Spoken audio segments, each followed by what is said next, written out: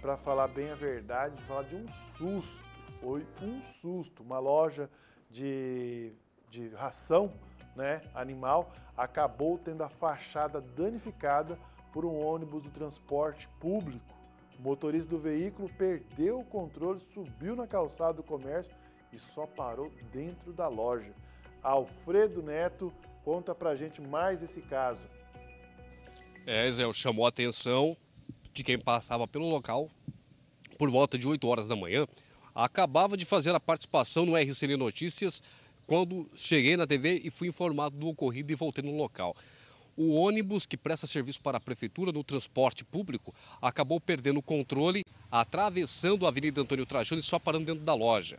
O ônibus fazia o trajeto Lagoa, bairro Colinos, pela rua Doutor Monir Tomé, quando no cruzamento com a Avenida Antônio Trajano, o motorista teria perdido o controle, desviado para a direita, passado entre o poste que segura o semáforo e o poste que alimenta a rede elétrica, que segura a rede elétrica, perdão, batido contra a parede de vidro, né, a vidraça dessa loja que vende alimentação para animais e só parado dentro do local. Conversei com os funcionários, os proprietários da loja, que o ônibus já tinha saído, o que teria ocorrido, o que o motorista teria falado. Os mesmos relataram que o motorista disse que o volante teria travado com ele e ele teria perdido a direção do veículo, não conseguindo controlá-lo, só parando dentro da loja.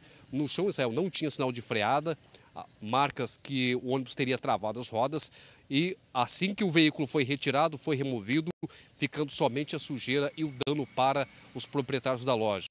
Depois, a Polícia Militar, junto com os agentes municipais de trânsito, foram ao local, fizeram o boletim de ocorrência na DEPAC, Delegacia de Atendimento Comunitário, caso esse que vai ser investigado pela primeira Delegacia de Polícia Civil. Por sorte, Israel, não houve feridos nesse incidente já no início da manhã dessa terça-feira e que chamou a atenção por conta da gravidade. Israel.